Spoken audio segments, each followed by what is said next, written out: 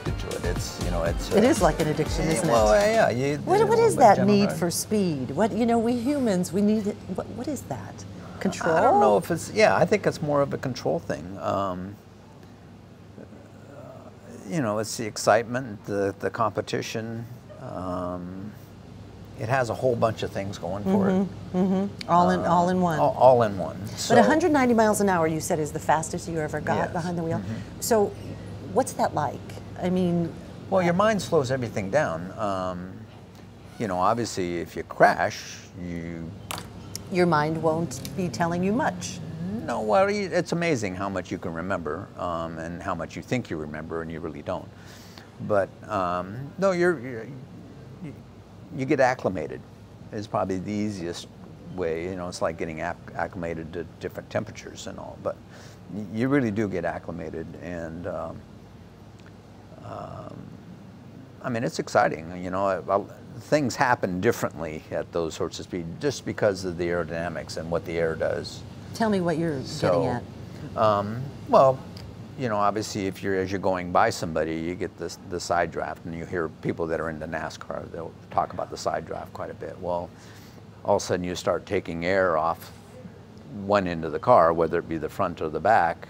You know, if you got a car behind you, it starts taking air off the back, and it really does affect the um, the amount of downforce that the car is making and that sort of thing. So, you know, those are things you have to be cognizant of. So you really need to be thinking the whole time. Yeah, and you you're- notice, you know, all of a sudden the cars, you're just kind of driving around, like for a place like Daytona, when you're on the banking, you know, you're just kind of driving around, you're going pretty fast, and all of a sudden somebody gets behind you, and all of a sudden, whoa, Whoa. I'm, I'm really having to drive now. It's, uh, Are you, know, so. are you a good street driver or are you fast? Oh, no, no, I drive You're a lead foot guy? No, slow? I- What? It's dangerous on the street. It is dangerous on the street. That is so true.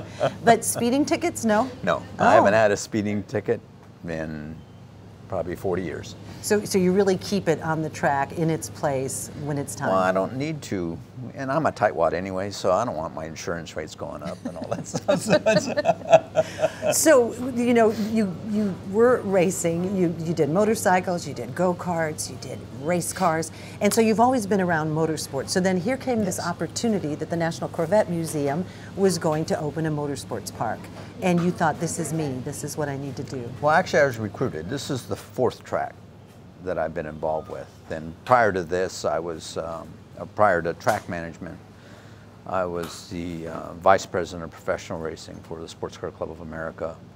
And then prior to that is, was my racing career. Um, and so I was with SCCA for 10 years, um, got into, you know, so I'm on the other side of the circus. I'm on the organizer side of the circus. Um, and then I got into track management.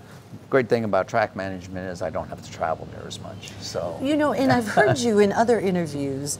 You reference it as the circus. Mm-hmm. It it's is like a circus. It is absolutely. It's, it's your, you're on the road and it's a family. You see the same people and you know the the officials, and then the competitors and all. And, and it, it really is. It's a love hate relationship, but it's you know it's a great family. Thank you so much. We've been talking with Mitch Wright, who is the general manager of the National Corvette Museum's Motorsports Park. We're coming to you from the Corvette Cafe at the National Corvette Museum. I'm Barbara Deeb. This is Coffee Near Me. And remember, you can continue the conversation in the comments section. Cheers. been Thanks. fun. Yeah.